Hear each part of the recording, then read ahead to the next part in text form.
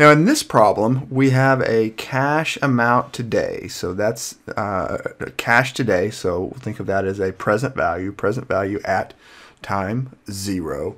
And uh, in this problem, the donor is going to give this money to the university, and the university is going to turn back and uh, give out annual scholarships of the same amount each year forever. Right? So, what's the university giving?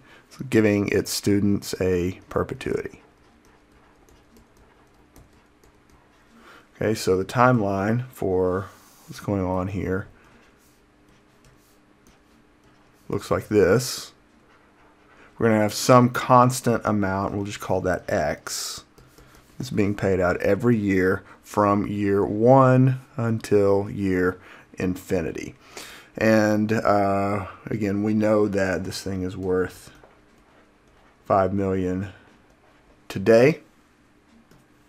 All right, so we're going to swap 5 million today for this series of cash flows. And so $5 million is the present value of this perpetuity. All right, so what do we need? Uh, we, we need to find X. Okay, so our standard perpetuity formula works because the first payment happens in year one. And so we know that the present value of a perpetuity, which is equal to the cash flow amount divided by the discount rate, that works. Um, so what are we looking for here? We're trying to solve for this C amount. Uh, that That's our X that we're looking for.